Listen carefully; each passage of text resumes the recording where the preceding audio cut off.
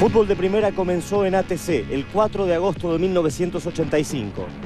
El programa era de una hora de duración y contenía un partido principal y dos complementarios. El relator era Mauro Viale y el comentarista y conductor Enrique Macaya Márquez. Señores, muy buenas noches. Vuelve el fútbol del campeonato de primeración, de primera división, perdón. Vuelve fútbol de primera aquí también. Un producto de torneos que es fútbol de primera, que es un programa basado precisamente en lo que tiene que ver con la transmisión de los partidos y con el material exclusivo que tiene de los partidos. Por eso paga los derechos. Mientras ven ustedes Alonso, le voy a hacer dos preguntas al número 9 de San Lorenzo. Primero, ¿mueve usted Perazo? Y segundo, ¿usted juega bien pensando en México? Sí, muevo yo, Perazo. Y yo juego bien pensando en San Lorenzo. Va Perazo. Qué bien la hizo Perazo. Este gol frente a Argentinos fue uno de los mejores del torneo. Hasta el árbitro Lustó lo entendió así.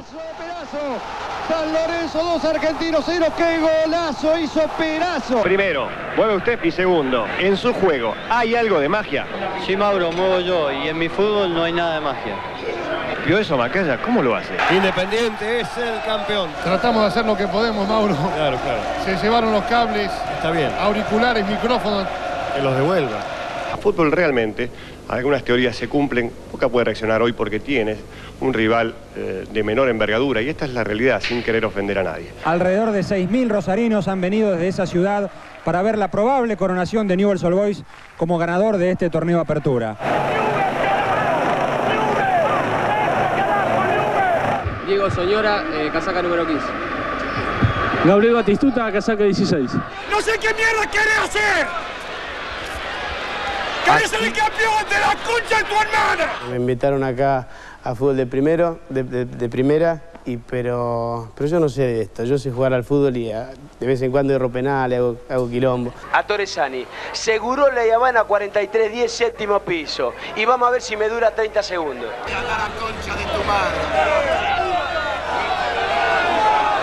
¡Acordate de la cancha Huracán, Oliveto! ¡Acordate de la cancha Huracán! ¡Acordate! ¿Pero por qué? ¿Pero por qué?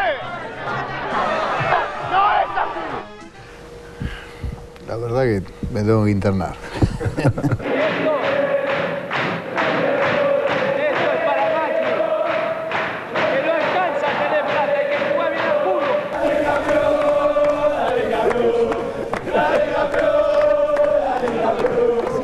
No tiene bebida alcohólica, señorita, tiene Gatorade. Pido por favor que te portes bien, porque si no te voy a tener que expulsar a vos.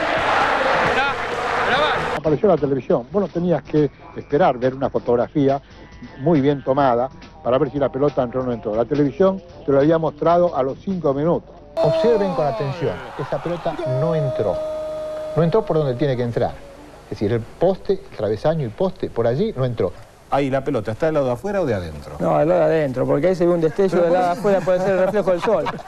No, te la discuto muerte, está del lado de adentro. Todo el mundo estaba convencido que había sido gol. Yo hablé con la gente de gimnasia. Sí, hasta que usted le cambió la idea a todo el mundo. Me para por la calle hasta mi sobrinito, Pablito me dice no fue gol, los chicos del colegio lo cargan, no puede ser.